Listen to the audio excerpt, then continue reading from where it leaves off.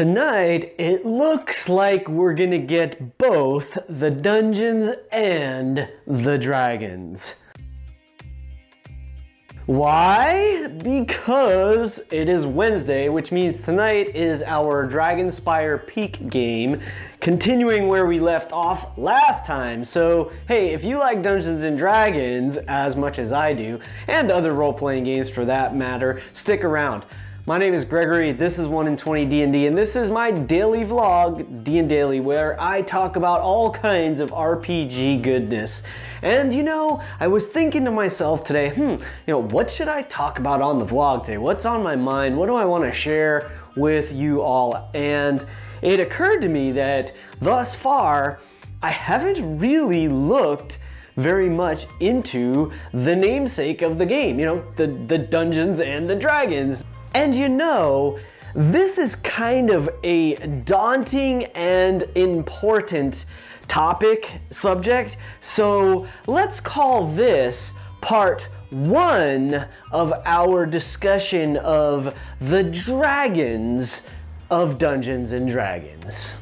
And I'll talk more about dungeons another time because today I really felt like I wanted to like spend a little time focusing on the dragon part of Dungeons and Dragons. And why is that? Well, tonight we're gonna start off where we left off last time, which I was starting to say is that we are about to go down this dark and uh, unknown spiraling staircase into the bowels of what the players know to be a dragon barrow. Uh, the characters have no idea. They just think it's some mysterious, uh, you know, hole in the ground burial mound kind of thing. And they're all the curious heroic type. Thus, we find ourselves in this situation. So when we start the game tonight, again, I hope you'll join us tonight, 6:30 Eastern, or sorry, 6:30 Pacific, 9:30 Eastern this evening. We're gonna be venturing into the dark.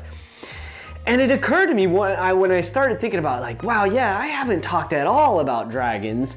Let me get a little bit into that and what I think is so amazing about dragons. I mean, there's so much to discuss on the subject of dragons, especially in the world of Dungeons and Dragons. But I really feel like one of the most quintessential and fundamentally interesting aspects of dragons is the fact that, at least mechanically speaking, in 5e, and really going back through all of the editions, they're, structure, they're structured in such a way mechanically that you can pretty much encounter a dragon at every tier of play. That is to say, like, you're just as likely at first level to encounter a dragon as you are at 20th level, and they can be either completely overwhelming or just a good, formidable threat at all of those levels. That's the reality. It's it's true that probably at, at first level, when you very first start out, even a youngling, even like a, a hatchling dragon is probably going to be a heck of a challenge. And, uh, you know, it could be fun to play out, of course, but yeah, that might be a pretty big threat still. And here we are, we've just achieved level four, and we have had an encounter with this white dragon that's terrorizing the countryside, and it, it didn't go very well, to say the least. It knocked out, it wiped out two of us, uh, knocked us unconscious with one shot of its breath weapon, and then fortunately for us, flew off because it uh, wasn't very interested in us. But you know that could have gone a whole lot worse. Like, like much, much horribly more worse. And thank goodness it didn't. But but uh, regardless, dragons are sort of a threat at any level of play. And I think that's part of the cool thing about it. And then uh, when you add on to that, the fact that you have the full spectrum of if we want to call them personality or for sure alignment, but you know, not everyone likes to use alignment, but with dragons, you get the full spectrum of like the ones that are helpful all the way to the ones that are terrorizing. And you get the ones that are, you know, uh, greedy and egocentric all the way to the ones that are benevolent and are really genuinely trying to help the other lesser beings. I think that's probably true on, for all dragons is they probably look at us mere mortals, the humans and the other other let's see, the other races of man. Can we call it that? I don't know if that's the right way to say it, but the the you know the humans, the elves, the dwarves, the you know dragonborn and halflings and tieflings and all these other half elves, half orcs, and everything in between. I think the dragons sort of look at us, or I say us, but you know that's because we as the player characters, that's the char- those are the races we play.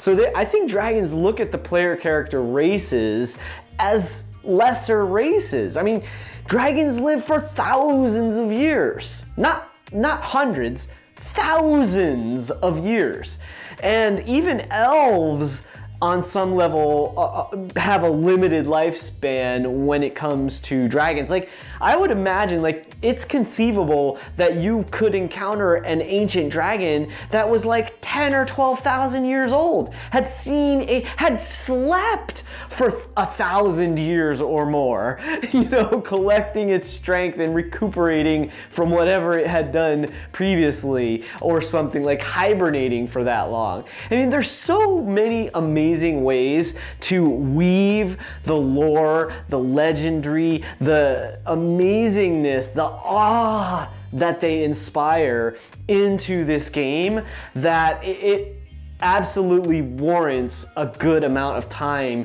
reading and exploring and uh, playing around with this great race of wyrm. I think they're incredible. They make the most amazing allies and they also make the most amazing you know enemies and that's po- that's possibly probably ultimately why Gary Gygax gave it this name from the beginning, you know?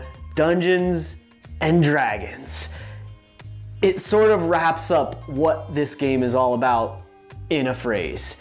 I can't wait to see what happens tonight when we go down into this dungeon and hopefully we don't encounter the dragon for a little while longer. We need to be a little bit stronger, I think. Tune in tonight to find out. I'll see you tomorrow here on the vlog. And in the meantime, keep rolling 20s. And always remember, it's your game. Play your way.